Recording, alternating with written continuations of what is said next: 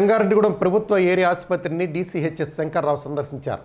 ఈ సందర్భంగా ఆయన మీడియాతో మాట్లాడుతూ జిల్లాలో కరోనా వ్యాప్తి నివారణకు జిల్లా కలెక్టర్ నేతృత్వంలో విస్తృతంగా ఏర్పాట్లు చేసినట్లు చెప్పారు.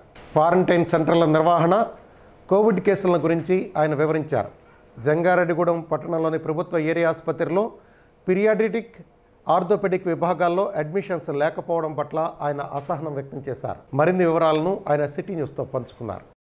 మరి వెస్ట్ గోదావరిలో ఈరోజు ఇప్పటి వరకు కోవిడ్ కేసులు నాలుగు వందల ఇరవై మూడు నమోదవుతుంది జరిగింది. మరి మనం ఈ టెస్టులు చాలా ర్యాపిడ్గా మిగతా జిల్లాలతో పోలిస్తే చాలా ఎక్కువగా చేస్తున్నాం. ఇప్పటికి యాభై వేల పైన టెస్టులు చేయటం జరిగింది. మరి దీన్ని మనం కలెక్టర్ గారి ఆధ్వర్యంలో అన్ని రకాల టీంలు వేసి మరి దీనికి ఇప్పుడు ఎక్కువగా ఉన్న పేషెంట్ని పేషెంట్ని అంటే పాజిటివ్ వచ్చిన పేషెంట్ని మనం కోవిడ్ సెంటర్కి తరలిస్తున్నాం. కోవిడ్ సెంటర్స్ అంటే ఏలూరు ఆశ్రమ హాస్పిటల్ పెట్టడం జరిగింది. అలాగే ఒక మాదిరి కేసులు అంటే పాజిటివ్ ఉన్నా కూడా వాళ్ళకి సిమ్టమ్స్ అంటే కోల్డ్ మినిమం ఫీవరు తర్వాత వాళ్ళకి ఏం సిమ్టమ్స్ లేకుండా ఉన్న వాళ్ళని మాత్రం కోవిడ్ కేర్ సెంటర్స్ అని పెట్టడం జరిగింది. కోవిడ్ కేర్ సెంటర్ ఇప్పుడు ప్రజెంట్ సిఆర్రెడ్డి కాలేజీలో జరుగుతుంది జరిగింది. ఇప్పుడు దాంట్లో సుమారుకు ఒక యాభై రెండు మంది ఉన్నారు.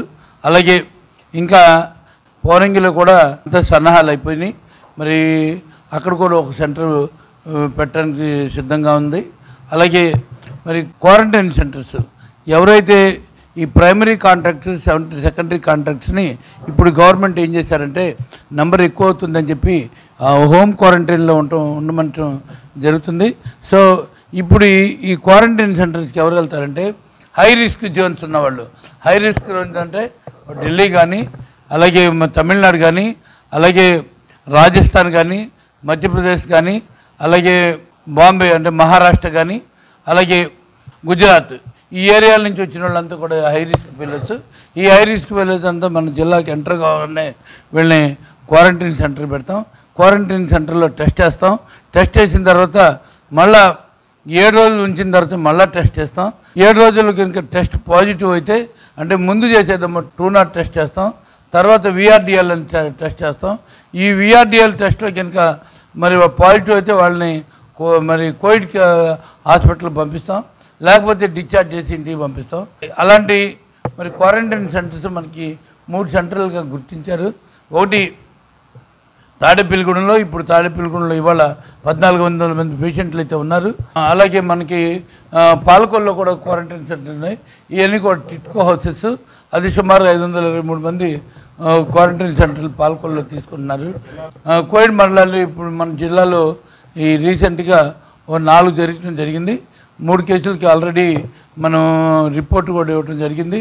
నాలుగో కేసుకి ఇవ్వాల్సింది ఉండే. ఎందుకంటే ఒక అమ్మాయిది మాత్రం కోవిడ్ మరణం కాదు అది అమ్మాయికి కోవిడ్ వచ్చింది.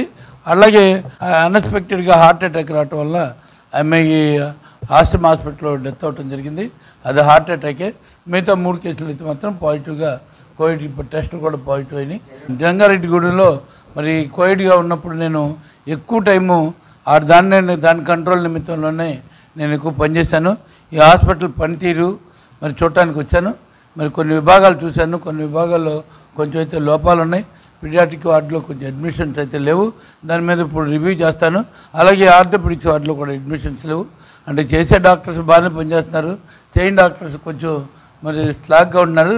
వాళ్ళని వాళ్ళ మందులు ఇచ్చి దీని turn I will take action ఇస్తాం అలాగే కొన్ని కొన్ని ఉన్నాయి ఆ, కొన్ని సెంటర్స్ మరి సంజీవిని హాస్పిటల్ సంజీవిని ఉంది. సంజీవిని ఇక్కడ నుంచి పక్క తరలించాలని మేము ప్లాన్ చేస్తా ఉన్నాం. అలాగే క్యాంటీన్ కూడా మరి ఎంట్రన్స్ అంత బాగాలేదు ఎందుకంటే అదంతా మరి మంచి ప్లేస్ అది. దాన్ని కూడా పక్కకి షిఫ్ట్ చేయడానికి ప్లాన్లో ఉన్నాయి. సో ఈ హాస్పిటల్లో ఇంకా ఇప్పుడు గైనకాలజీ విభాగంలో చాలా బాగా చేస్తున్నారు. ఆల్మోస్ట్ డిస్టిక్ హాస్పిటల్ తర్వాత ఎక్కువగా కేసులు అయ్యేది సిజేరియన్ కేసులు ప్లస్ నార్మల్ డెలివరీ అనేది ఇక్కడే జరుగుతుంది. సో దీన్ని అన్నీ రివ్యూ చేసి అలాగే బ్లడ్ కూడా మనకి చాలా తక్కువగా ఉంది. నేను ఇప్పుడు ఆ డాక్టర్ని పిలిచి బ్లడ్ స్టోరేజీలో అన్నా కూడా కనీసం కొన్ని క్యాంపులు ఆర్గనైజ్ చేస్తే ఈ తాలసీమ పిల్లలు సికిల్ సెల్ ఎనీమియా పిల్లలు అలాగే హిమ్మోఫిలియా పిల్లలు అందులో ప్రెగ్నెంట్ లేడీస్ కూడా ఈ ట్రైబల్ ఏరియా మనకి ముఖద్వారం కాబట్టి ఈ ఇక్కడికి ఎక్కువ వస్తూ ఉన్నారు. వాళ్ళకు కూడా ఈ బ్లడ్ ఎక్కువగా ఉంటే మరి బాగుంటుంది.